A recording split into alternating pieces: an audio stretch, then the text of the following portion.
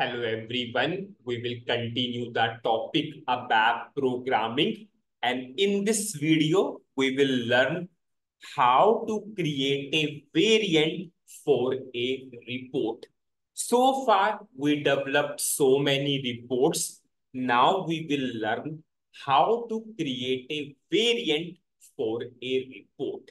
Before we learn how to create a variant, the first thing is we should understand or we need to learn what is variant and why, why we are creating variant.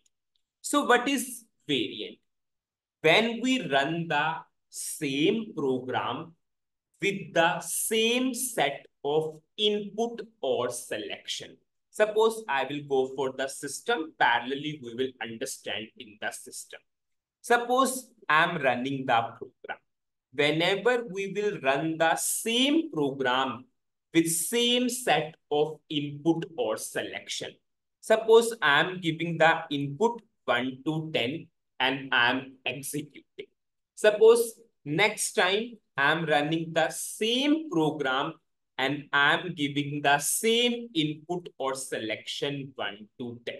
So whenever you will run the same program with same set of input or selection.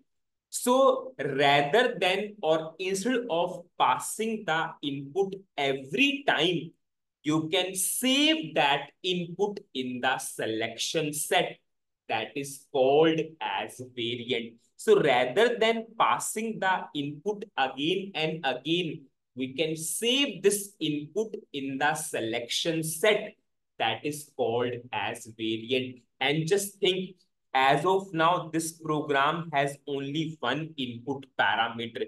In real projects, sometimes we have so many input parameter checkboxes, radio button. We have so many parameter. We have so many select option. Just think at that point of time, if every time you will pass the input again and again, how much time it will waste so rather than passing the input again and again, save that input and that is called as variant. Suppose if we will learn how to create a variant.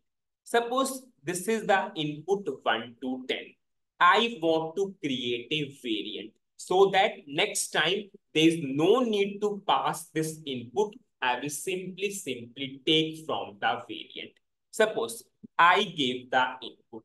Whenever I want to save this as a variant, you have a button here. Sorry. Before that, one thing, you can take any program or any report, whatever you created, it is totally your wish. I took the I took the report of interactive classical report event you can took any report, whatever the report you created, and you can run the creation of the variant. Suppose I'm running this. I will give the input. Now I will save this as a variant. Whenever you want to save this as a variant, we have a button here, save as variant, or you can simply go for go to variants save as variant. It is totally your wish how you want to go. Before I will save, just see here. As of now, we have only one button execute. Whenever I will save as a variant or whenever I will create a variant, one more button will come here. Suppose I'm clicking here. I will give some name to the variant. Suppose I will give var1. Suppose description, order number 1 to 10. So this var1 has the order number 1 to 10. This description I gave meaningful so that we can understand, yes. Now I will say. Now you can see one more button came here and what is the name of the button? Get variant. Suppose I'm running the program. Again, I am executing the program. I want to run this program for order number 1 to 10. There is no need to pass the input again because you created the variant. So you can simply click on to this button, get variant. You will be able to see variant name description. Simply select and you can see this value scheme. You can simply execute and get the output. As of now, we have only one input parameter. But just think whenever we have so many input parameters, at that time, this feature helps us a lot. Now, it is not the case that I can go for single variant. Suppose I want to go for a variant for order number 1 to 5. So I can simply, simply go for save. Suppose I will give the name, suppose var2, suppose order number 1 to 5. I will go for save. So now I have two variants. Now if I will see this button get variant, you can see we are able to see the two variants. One is for order number 1 to 10. If I will choose this order number 1 to 10. Now, if I want to go for order number 1 to 5, this is order number 1 to 5.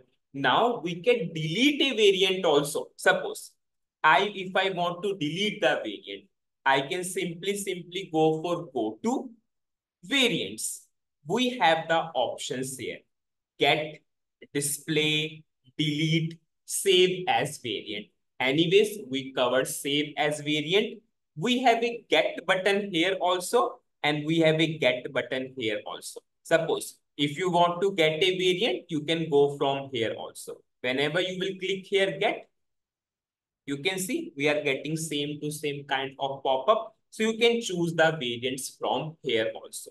Now, if you want to delete a particular variant, before delete, I will show you the display part. What display part will show you? Display part will show you that what are the various values into that particular variant. Suppose if I will go for display and I will choose this particular variant, suppose var1. So it will give me what is in that particular variant. We have the order number and you all know a select option has four parts. Sign, option, low and high.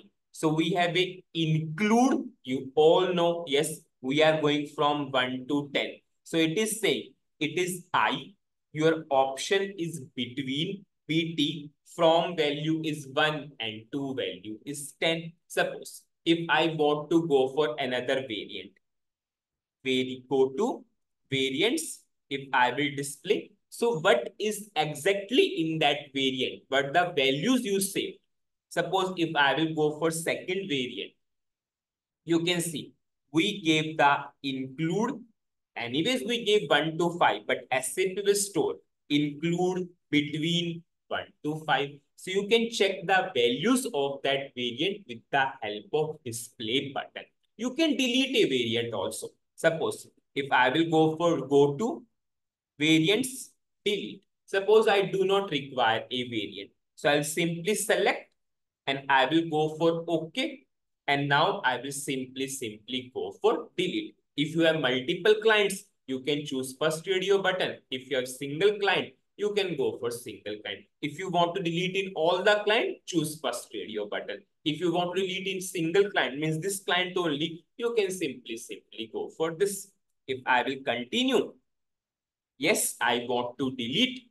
Now, whenever I will go for get variant, you can see we have only, only single variant.